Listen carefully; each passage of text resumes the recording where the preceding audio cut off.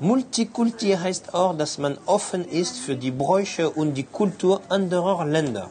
Wie heißt zum Beispiel das, was alle nach dem Essen in einem griechischen Restaurant umsonst bekommen? Durchfall.